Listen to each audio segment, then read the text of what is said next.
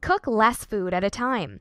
Cooking just the food you should be eating will cut down on any second helpings, which get in the way of your weight loss goals.